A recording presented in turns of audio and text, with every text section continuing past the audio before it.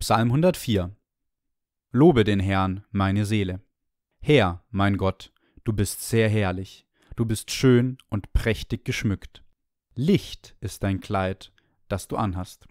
Du breitest aus den Himmel wie einen Teppich. Du wölbest es oben mit Wasser. Du fährst auf den Wolken wie auf einem Wagen und gehst auf den Fittichen des Windes.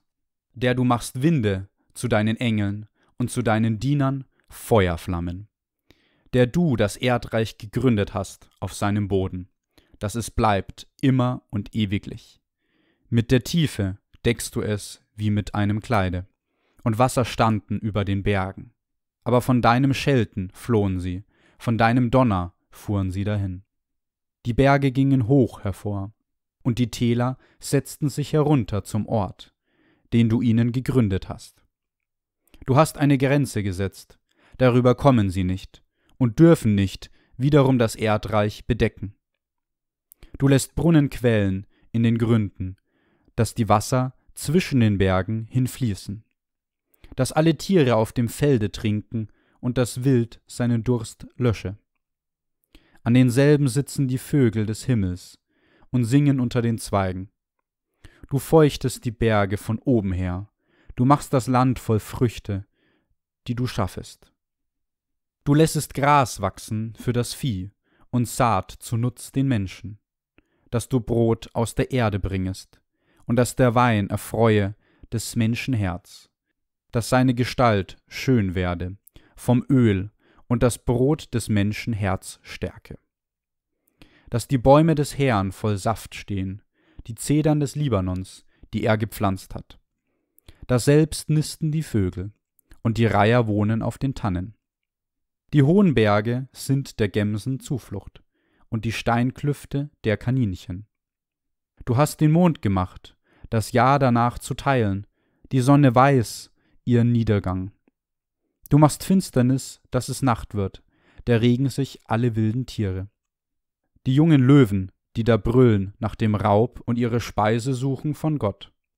Wenn aber die Sonne aufgeht, heben sie sich davon und legen sich in ihre Höhlen. So geht dann der Mensch aus an seine Arbeit und an sein Ackerwerk bis an den Abend. Herr, wie sind deine Werke so groß und viel, du hast sie alle weislich geordnet, und die Erde ist voll deiner Güter. Das Meer, das so groß und weit ist, da wimmelt's ohne Zahl, große und kleine Tiere. Da selbst gehen die Schiffe, da sind Walfische, die du gemacht hast, dass sie darin spielen. Es wartet alles auf dich, dass du ihnen Speise gebest, zu seiner Zeit. Wenn du ihnen gibst, so sammeln sie. Wenn du deine Hand auftust, so werden sie mit Gut gesättigt. Verbirgst du dein Angesicht, so erschrecken sie, du nimmst weg ihren Odem, so vergehen sie und werden wieder zu Staub. Du lässest aus deinen Odem, so werden sie geschaffen, und du erneuerst die Gestalt der Erde. Die Ehre des Herrn ist ewig, der Herr hat Wohlgefallen an seinen Werken. Er schaut die Erde an, so bebt sie.